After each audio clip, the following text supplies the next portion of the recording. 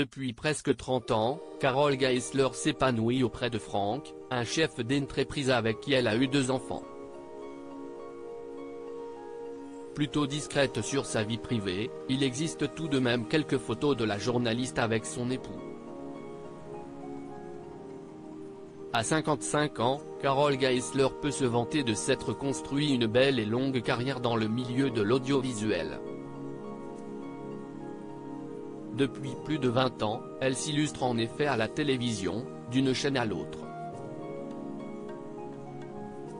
Si est tout de même sur France 3 qu'elle a su trouver une place récurrente, aux commandes de l'émission des Racines et des Ailes dont un nouveau numéro est d'ailleurs attendu ce mercredi 31 mai 2023. La journaliste est beaucoup moins du genre à papillonner lorsqu'il s'agit de sa vie privée. En effet, elle est mariée avec Franck depuis l'année 1997, un chef d'entreprise breton avec qui elle a eu deux enfants, Margot, née en 1999, et Arthur, né en 2011. Entre eux, tout est allé très vite puisque leur union a été célébrée moins d'un an seulement après leur coup de foudre l'un pour l'autre. Ça s'est fait par hasard, à l'anniversaire d'une copine qui le fêtait avec le frère de Franck sur une péniche, à Levallois-Perret. Mon ami me l'a présenté et on a discuté toute la nuit. Mais on n'est pas tout de suite sortis ensemble, car j'étais avec quelqu'un. On a commencé à se fréquenter en novembre. En février de l'année suivante, il a demandé ma main. En août, nous étions mariés. Il sait ce qu'il veut, avait révélé Carole en 2016 lors d'une interview pour télévision grande chaîne.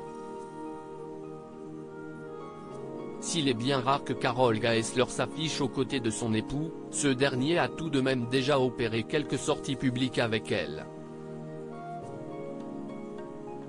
Les photos de notre diaporama nous informent qu'ils ont été vus ensemble à un dîner organisé à l'école des Beaux-Arts de Paris ou encore à l'avant-première de la comédie musicale de Kirikou et Karaba avec leurs deux enfants.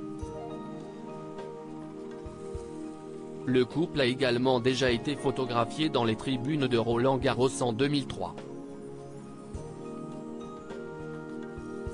Leur autre vie loin de Paris contrairement à son premier amour, le journaliste Laurent Lépinas tragiquement décédé en 1993, Franck n'évolue pas du tout dans le milieu de la télé. Il fait des fusions-acquisitions. Il aide des patrons de PME à se vendre ou à grandir, expliquait-elle en 2018 pour Télé Loisirs. Ils se retrouvent néanmoins sur un point, celui de la viticulture, leur passion commune. Ces férus de vin ont même décidé en 2018 de devenir propriétaires d'un domaine pour y cultiver leurs propres vignes. Siesti dans le Luberon qu'ils ont trouvé leur havre de paix aux airs de Toscane qui leur permet de s'échapper de la frénésie parisienne. Mon époux rêvait de faire son propre vin depuis des années. Ensemble, nous avions envie d'un bout de terre et d'un ancrage pour nos deux enfants.